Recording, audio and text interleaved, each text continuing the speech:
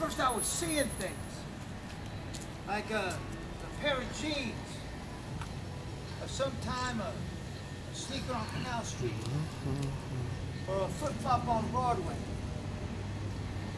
Or one time a, a, a rookie beer bottle and a corkscrew. And a purple box. Nothing inside five dollar bill.